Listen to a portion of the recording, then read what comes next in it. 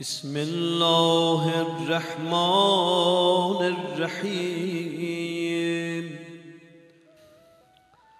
اللهم قوني فيه على إقامة أمرك وأذقني فيه حلاوة ذكرك.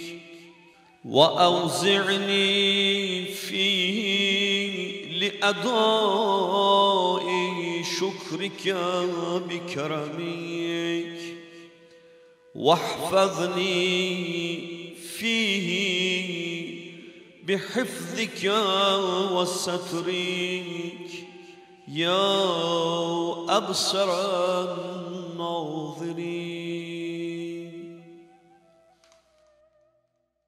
Ey Allahım, bu ayda sənin əmrlərini həyata keçirmək üçün mənə qüvvə ver.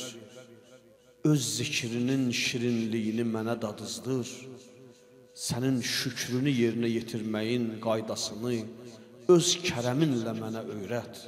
Öz mühafizənlə məni qoru, ey görənlərin ən yaxşısı.